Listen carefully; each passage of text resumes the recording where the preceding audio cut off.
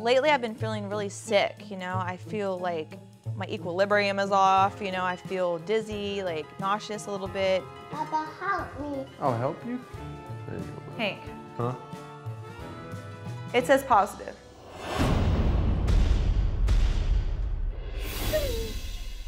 I went in my cabinet, I found a pregnancy test. There's two lines. It's positive. What am I supposed to do?